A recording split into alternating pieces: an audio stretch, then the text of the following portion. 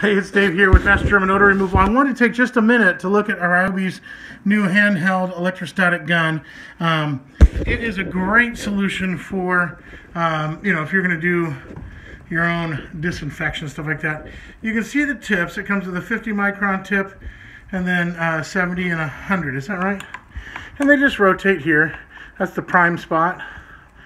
You can tell they how we're thinking about painting when they have this made. And then here's your 100 micron tip. And then your 70, what is it, 75? Yeah, 70, 75. Anyways, you really want that to be 40 with the, um, the uh, products that we use. But um, it's got a little light on the front, switchable tips. It's got the battery, it comes in and out. Any of the um, Ryobi batteries are working there. Electrostatic on or off. It is on right now.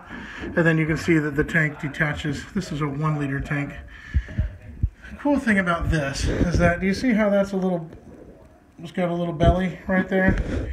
Um, that's where the feed tube goes in. So anyway, so here is the gun. It's nice to use. The light comes on. You can see it's already primed. So if you're doing your own stuff, this one is it works great. Um, little electrostatic machine. I wish it had three 40 tips instead of 150.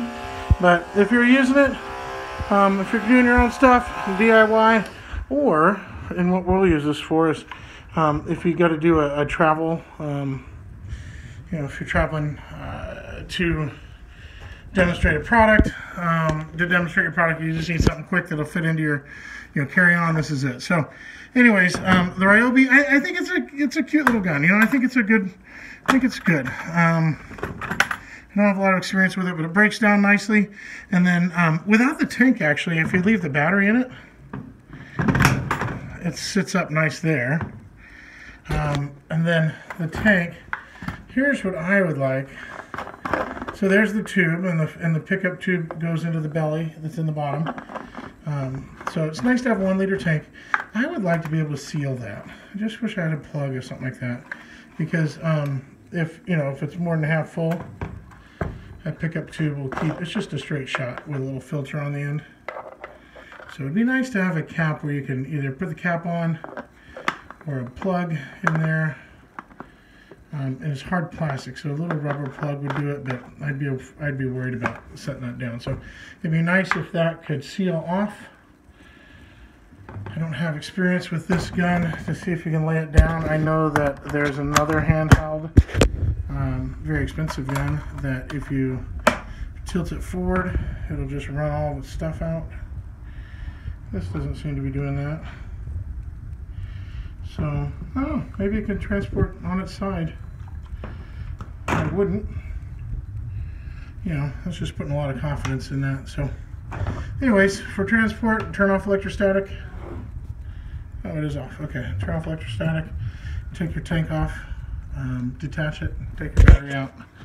And you're good to go. Um, this one does leak a little bit. You can see it's kind of got, it doesn't leak. It's just like any electrostatic machine.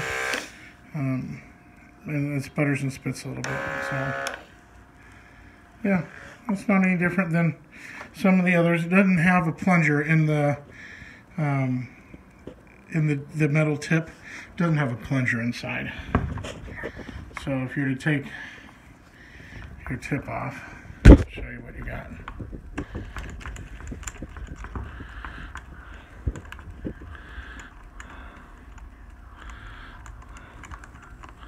These tips are replaceable, by the way, so if you're using something corrosive. Uh, but that's it. So that is just a, it's a straight shot through. I don't know if you can see it on camera.